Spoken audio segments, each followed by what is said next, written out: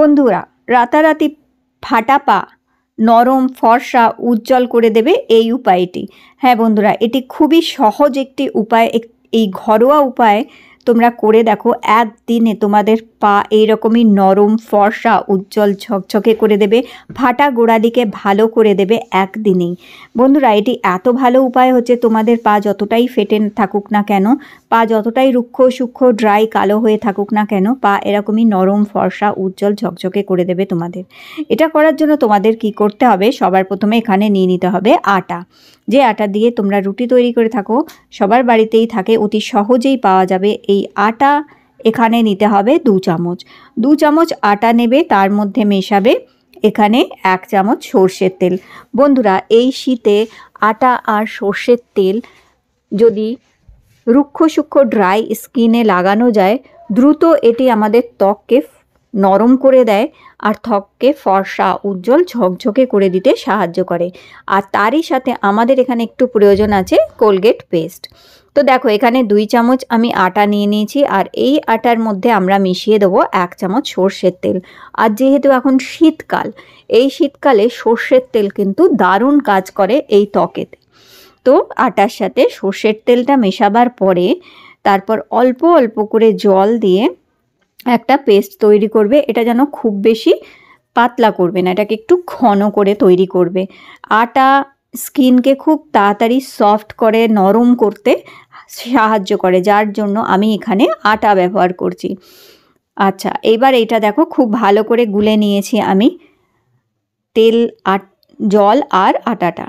এটা ভালো করে আগে গুলে মিশিয়ে নেবে।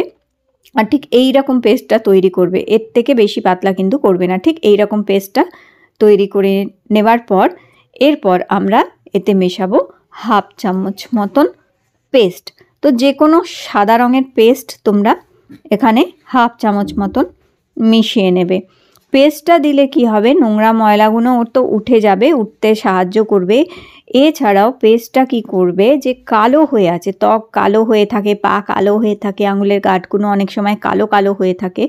আর যেদি নোংরা ময়লা যে জমে থাকে, সেটা তুলে দিতে তোমাদের সাহায্য করবে। তো পেস্ট এখানে ভালো করে মিক্স করার পর রেডি হয়ে গেছে আমাদের রেমেডি। এবার আমাদের দরকার একটুখানি টমেটো। তো বন্ধুরা, প্রতিদিনই আমরা টমেটো কম বেশি ব্যবহার করেই থাকি রান্নায়। তো সেইখান থেকেই অল্প একটুখানি টমেটো শুধু কেটে নেবে এইভাবে। অল্প এক টুকরো মতন টমেটো কেটে নিয়ে এইবার কি করবে? দেখো আমি তোমাদের এখানে দেখাচ্ছি, আমার পাটা কতটা রুক্ষ আর ড্রাই হয়ে আছে, পা খসখসে হয়ে আছে এবং পা থেকে দেখো এরকম সাদা সাদা চামড়া মতন উঠছে, তাতে বোঝাই যাচ্ছে যে পা ফেটেছে এবং রুক্ষ হয়ে আছে। আমি তোমাদের এই রেমেডিটা সঙ্গে সঙ্গে করে দেখাবো বলেই আমি আগে এটা করিনি তো। যেহেতু আমি তোমাদের ইনস্ট্যান্ট রেজাল্টটা দেখিয়ে দেবো যে দেখো কতটা পরিষ্কার করে দিচ্ছে পাকে এবং ইনস্ট্যান্টলি পাকে নরম করে দেয় এটা।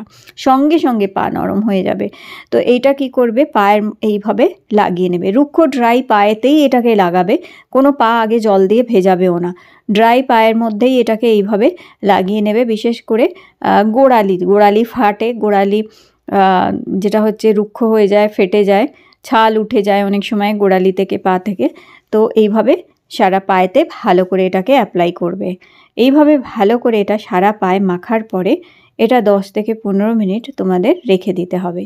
তো আঙুলে এবং আঙুলের গাঁঠে সারা পায়েতে এইভাবে এটা মাখার পর দেখো দশ মিনিট আমি এটাকে এইভাবেই রেখে দেবো। আর যেহেতু এর মধ্যে সর্ষের তেল আছে, তাই বন্ধুরা এই শীতেও কোনো রকম ঠান্ডা লাগার ভয় নেই। তোমরা চাইলে এটা মেখে রোদ্দুরে কিছুক্ষণ বসে থাকতেও পারো। রোদের মধ্যে দশ পনেরো মিনিট বসে রাখ, থাকলে। তারপরে ওই যে টমেটোর টুকরোটা ছিল, সেইটা দিয়ে তোমাদের ফাটা জায়গা যেগুলো আছে, ফাটা গোড়ালি আছে, ফেটে গেছে গোড়ালি সেখানে তোমাদের এই টমেটোটা দিয়ে এইভাবে স্ক্রাব করতে হবে। টমেটো স্ক্রাব করলে স্কিনকে আরও নরম করে দেয় এবং যে ফেটে আছে, ফাটা স্কিনটাকে ভালো করতে সাহায্য করবে এই টমেটোটা। ইনস্ট্যান্টলি স্কিনটাকে নরম আর সফট করে দেবে আর যে ট্যান পড়ে আছে, সেই ট্যানটাও তুলে দিতে হেল্প করবে তোমাদের। কালচে ভাব কিংবা আঙুলের গাঁটগুলো কালো কালো হয়ে আছে, সেটা তুলে দিতে সাহায্য করবে। তো এইভাবে টমেটোটা দিয়ে ঘষবে। তো দেখো, এক মিনিট মতন টমেটোটা দিয়ে এইভাবে স্ক্রাব করার পরে হাত দিয়ে আরও কিছুক্ষণে স্ক্রাব করে জল দিয়ে পাটা ধুয়ে নেবে। উষ্ণ গরম জল দিয়ে পা ধোয়ার পরে তোমরা নিজেরাই দেখবে পা কতটা পরিষ্কার আর কতটা সফট করে দিয়েছে। দেখো, আমার পাটা আমি তোমাদের আগে দেখালাম কি সুন্দর, কেমন রুক্ষ ড্রাই ছিল, পাটা এখন সফট হয়ে গেছে।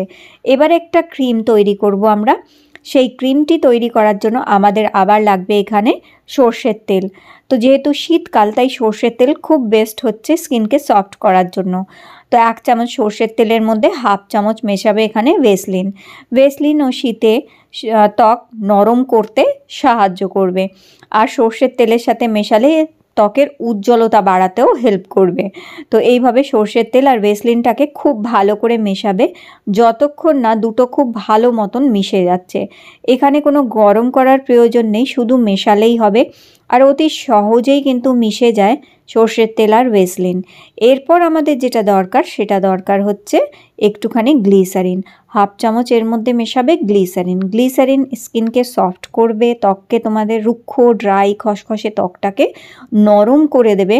ফাটা ত্বক যে ফেটে গেছে কিংবা গোড়ালি যে ফেটে গেছে, সেই ফাটাটাকে ভালো করতে সাহায্য করবে আর ত্বকের উজ্জ্বলতা বাড়াতেও সাহায্য করে গ্লিসারিন। এবার গ্লিসারিনটা হাফ চামচ মেশাবার পরে এই ক্রিমটা কোনো কৌটোয় ভরে রেখে দেবে।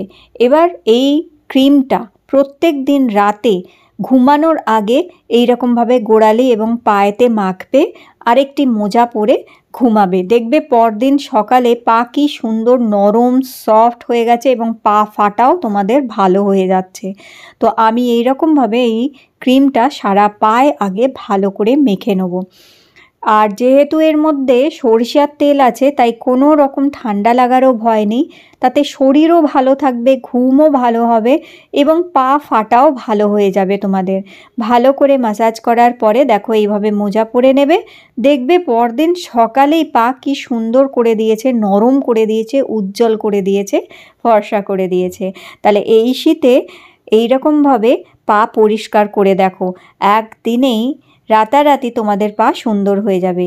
তা বন্ধুরা, ভিডিও ভালো লেগে থাকলে লাইক দিও আর চ্যানেল সাবস্ক্রাইব করে রেখো। আবার দেখা হবে তোমাদের সাথে নতুন একটি ভিডিওতে।